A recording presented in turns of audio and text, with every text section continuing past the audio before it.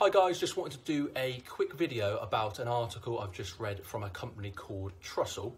Um, the article claims that around about 76% of homeowners, so over three quarters of homeowners, couldn't define what a remortgage was. Um, that statistic really surprised me, um, probably quite easily surprised me because I'm a mortgage advisor.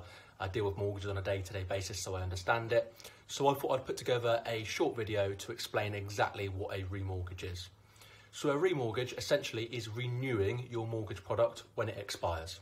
So if you take a two-year fixed rate mortgage, at the end of that two-year fixed rate period, you can renew your product. Likewise, if you take a five-year fixed rate mortgage, at the end of the five years, you can renew that product. It's very similar to a mobile phone contract. So if your mobile phone provider ties you into a two-year contract, at the end of that deal, you can negotiate a new phone deal. It's very similar. Now, when it comes to remortgaging, you've got a couple of options. You could stick with your current provider. They will offer you an existing borrower product, or you could shop around to see if another lender can offer you a better deal. Now, the same article suggests that around about 61% of homeowners don't shop around and they don't even review the mortgage terms offered by their current provider before going ahead with it. So they could be missing out on hundreds, maybe even thousands of pounds in savings by not shopping around and having a look what else is available.